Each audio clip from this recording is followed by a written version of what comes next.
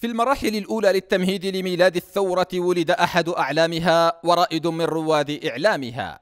فمع نهاية ثلاثينيات القرن الماضي كانت بداية عبد العزيز المقالح وميلاده.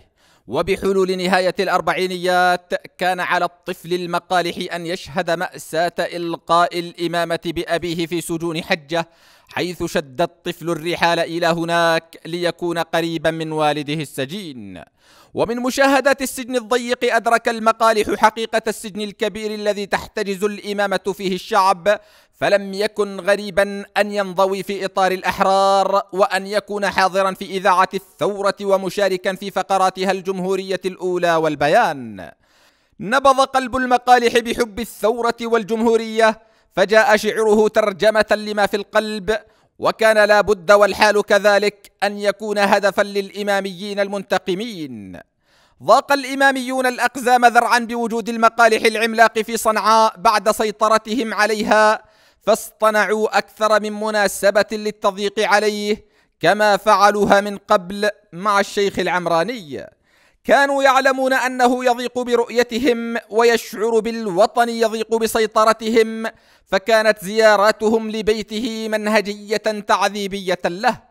ولأن المقالح أكبر من أن يتجاوزوه حاول الحوثيون أن يستدرجوه إلى كلمات يؤولونها برضاه عن وجودهم غير أن الاديب الكبير لم يكن ليقع في فخ الجهلة الصغار.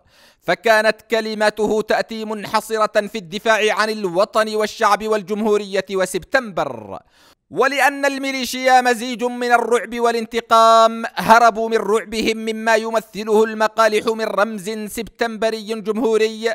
نحو الانتقام منه ومن الثورة من خلال المناهج التعليمية حيث تم حذف قصائده لقطع الصلة بينه وبين الأجيال الجديدة التي لا يريدونها أن تتنفس هواء سبتمبريا نقيا.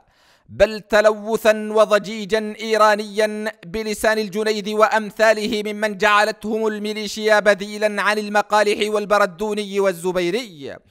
استبدال قسري يؤكد وداع الشعب للمقالح اليوم أنه لن يدوم وأن الميليشيا لن تبقى وأن سبتمبر ورموزها الأنقى والأبقى.